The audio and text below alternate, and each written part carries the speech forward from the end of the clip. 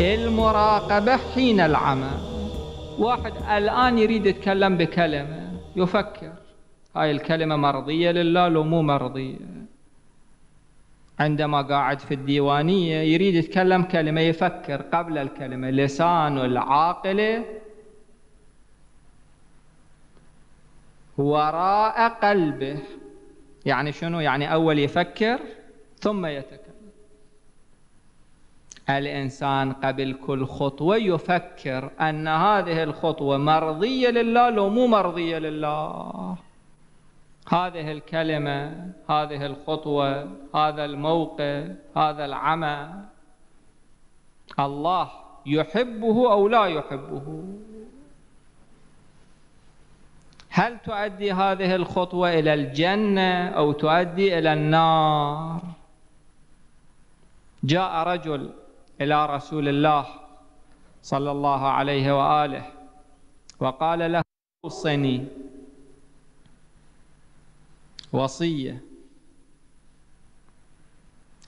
فقال له النبي صلى الله عليه وآله وهل أنت مستوص إذا أنا أوصيتك؟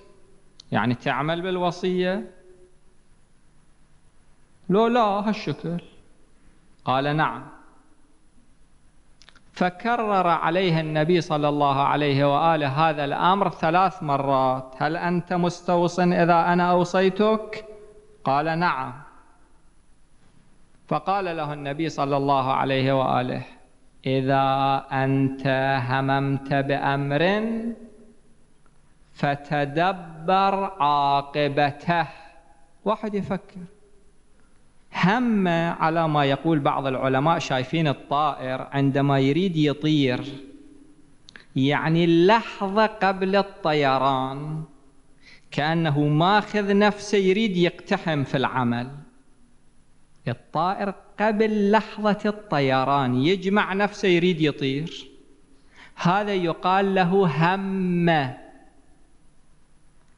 إذا أنت هممت بأمر يعني ردت توقع في العمل ردت تقتحم العمل يعني الكلمة إجت من قلبك إلى لسانك ردت تتكلم فتدبر عاقبته.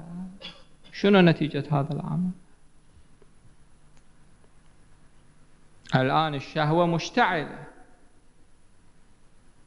الشهوة مشتعلة.